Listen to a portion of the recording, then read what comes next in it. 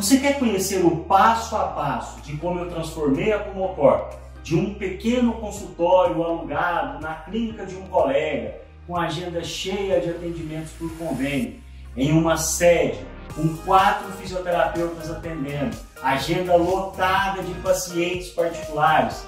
Então não perca essa oportunidade.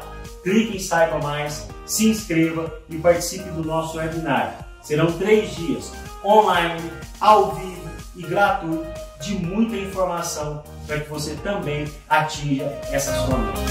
Já aguardo!